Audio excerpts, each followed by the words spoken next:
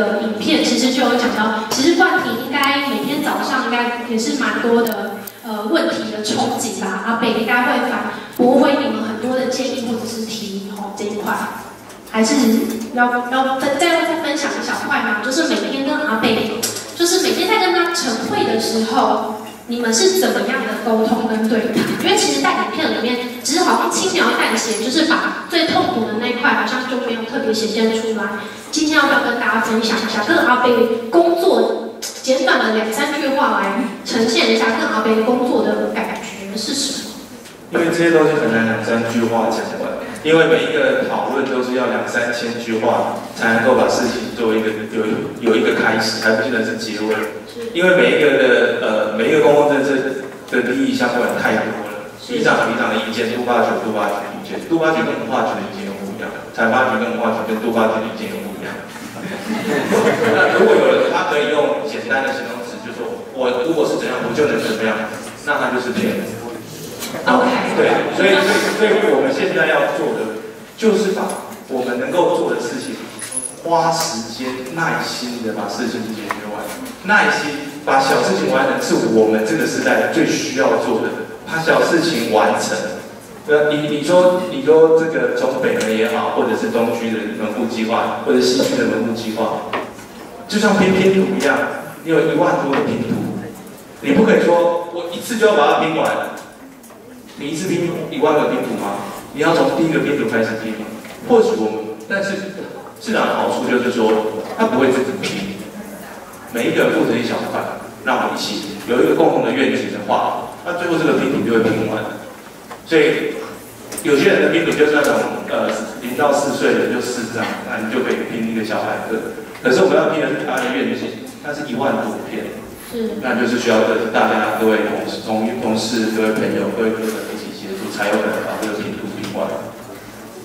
这样有很多形容词吗？我觉得你这样子真的有体现，你有 Q 到我想要 get 到给大家的点。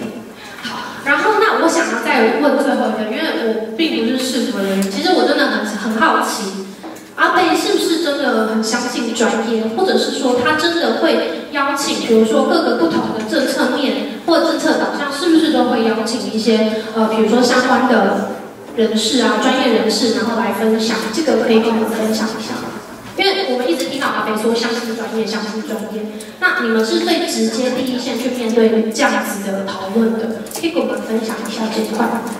我想市长他或者是市府同仁都非常尊重专业，然后相信创意。因为除了尊重专业以外，因为市长本身就是专业人士，他也相信有一些专业人士呃还是有局限在，所以他鼓励专业人士去做创意。所以不见得就是一成不变的认为说。A 的做法只有 A，他也会让我们去尝试新的做法、新的尝试。呃，所以他其实授权之后，授权之后，他给予我们的这个引导是很强的。他可以在后面让我们去完成这些我们想做的事情，像是放手让你们去做吗？放手让我们。所以他各种丑态其实都是。你们如果想让它呈现的话，它其实也是没有什么包袱的，就是满足你们的想象。我觉得是，就是说我们会犯错，我们会被骂，所以你会常常看到，呃，有些有些就是比较有些呃相关的媒体可能会说，哎，我们幕僚又犯错，那为什么会犯错？因为我们做新的事情才有可能会犯错，如果做旧的事情就不会犯错了。而且我相信阿北应该就是在每一个错误中学习。每一个往前进的一个可能性，但是我们不会犯同样的错。是。那因为每一次都有新，呃，因为对我来讲就是，呃，犯错是一个成功的一个，应该是说一个一个一个一个一个一个 process，一个程序而已。所以我进来的时候也会做出一些错误的判断，那当然会付出相应的代价。是。但是在之后，不代表说我不能够再做新的事情。所以你会看到市长会彪骂部署嘛？他，我相信在市府来市府之后，我发现他骂的原因就是在某些人犯同样的错，他才会骂。他不会对第一次犯错的人给予太严厉的批评。这是我觉得在这边让我觉得蛮有成就感的这边。哦，很很棒。感谢我们再一个热情的掌声给我们的冠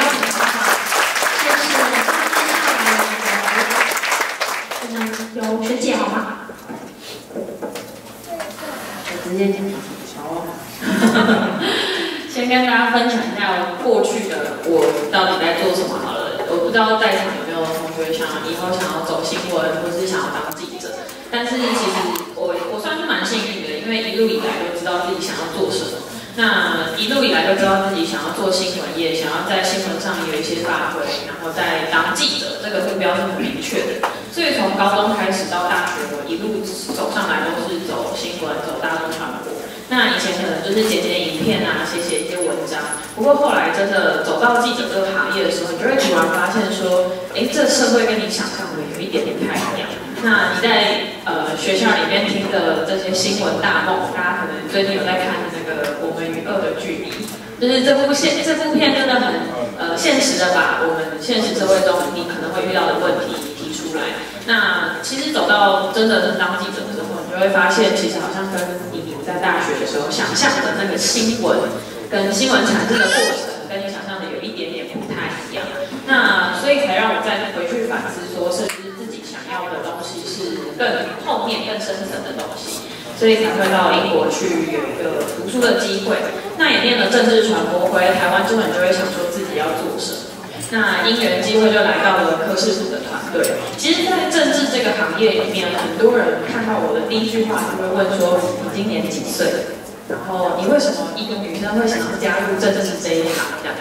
那通常我讲完说：“哦，我今年二十七岁。”结果旁边的人就会露出很讶异的人，哈，然后就停顿了。大概他这个哈，我大概就可以听出说：“哎，你怎么那么傻？在科室里面很累这样。”但是其实你每天七点半跟市长开晨会，然后每天的生活都是这么规律。你其实早起的时候，你会发现早起有早起的效果。不知道冠廷有没有那种感觉？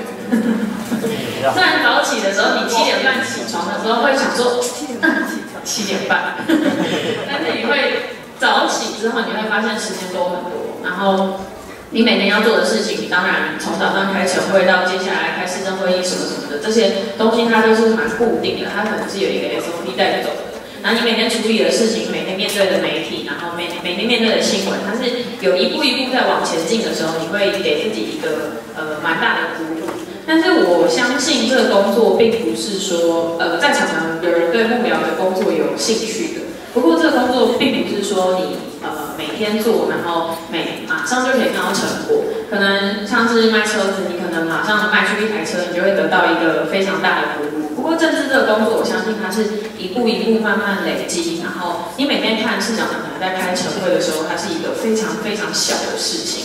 它有的时候只是一条道路，然后一个房子，或者是一台车、一个停车格，这么生活琐碎的事情，对大家来说可能就是。柴米油盐酱醋，然后每天睁开眼睛，他理所当然就应该在那里的事情。不过就是因为这样一步一步的累积跟改变，你才会看到最终的那个成果。举一个例子来说好了，很多人会问我说：“你为什么这么想加入科室？”其实我看到最大的一个改变是，呃，就是刚刚大家讲的，让台北最骄傲的那个门。这个门呢，其实对我来说意义蛮大的。我当初在呃英语类写新闻的时候，它当时只是一个雏形。大家可能在谈说，哦，北门那里要做一个改造，然后要拆东校学频道这些的。那我写的时候，它只是文字，所以我只是把呃大家的理念跟想法写下来。那这过程中呢，我离开了呃这个媒体业，到英国去念书，再回来台湾的时候，突然看到北门，它真的就跟我当初写的呃新闻的时候的改变是一样的。那那时候我其实还蛮讶异的。因为我过往在台北市生活了二十七年，从来没有看过这么大的改变，从来没有看过市政府可以为愿意为台北市民做这么多事情。那北门那里真的变得不一样的时候，其实对我来说是一个蛮大的，呃，怎么说？蛮大的相信吗？蛮大愿意相信，突然愿意相信是呃政政治这件事情。可能在场大家的年纪可能跟我差不多，大家可能很少会跟你的朋友问说，哎，你是国民党还是民进党的，还是你是柯文哲还是哪一党的之类的。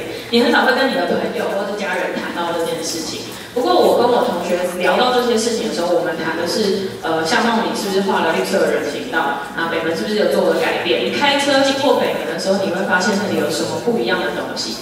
就像刚刚碧丽姐讲的，她其实，我们不不不关心的，我们关心的不是你未来十未来二十年你要给我们什么东西，而是我们现在的生活，呃，你可以为我们做到什么事情？这都是我每天在市政府里面看到的。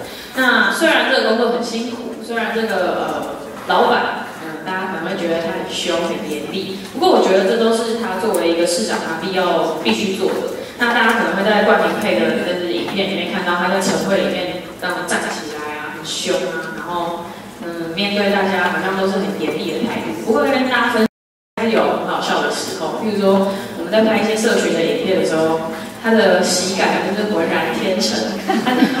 镜头一开，他就会呈现一个呃梗王的状态。所以，所以那些梗都不是谁的，都不是谁的，都是他自己自己天浑然天成。对，其实我们在拍影片的时候，我们并不会给他脚本，永远都是老板给我们脚本。那像大家最近在看那个，这这就是科学。其实我们从头到尾不知道他要讲什么，然后我们可能有听过，但是我们不知道他接下来要讲什么，而且他还很认真跟我说：“我跟你说，我昨天回去又想了一个新的。”我说：“哦，很厉害。”他每天七点半起床，他回家还可以想新的。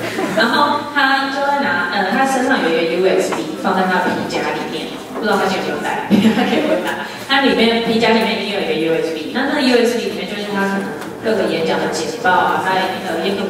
的资料之类的。那要拍这就是科学之前，我有去跟他说，哎，市长，你那个剪刀要给我，我要放在影片里面，你等下好讲这样。他就找了半天，他就跟我说，哦，我更新很多版，我那新的东西哦，我找一下呀。啊，有没有那个图，然后那个动画有没有做什么，都是他自己做的哦。就是你等下看到的市场的简报，任何的东西其实都是他亲手制作的。那那时候看完他那个简报之后，我才大概知道他要讲什么，所以我们就没有给他脚本，就让他站在那里讲了两个小时，然后我们才把那两个小时的课程剪成十，剪接下来大概应该给到九集或十集。这样，那他上课的时候，我们就想说要坐在下面，给他一个看起来像学生的感觉，然后想说让他感觉好像补习班老师在台上讲课，可以有一个人在下面跟他对话，他可能会比较有动力继续讲两个小时。殊不知他不用我们跟他对话，他一个人可以讲两个小时。所以，所以我们等一下的简报也是阿本自己做的吗？对，所以就是他在半夜就是自己开着电脑，然后下班回家。对，他就是十一点，比如说他明天有演讲，他十一点多、十一点半的时候会突然传麦给你，然后跟你说这是我明天的简报，然后你就会想说，我这可以吗？半夜十一点半还不睡觉？他刚通常应该十二点多才睡的样子。不过你看他的剪报，他自己做的剪报通常都有一个风格，就白底黑字标楷体。好，那个我想要稍微打断一下，我们稍后。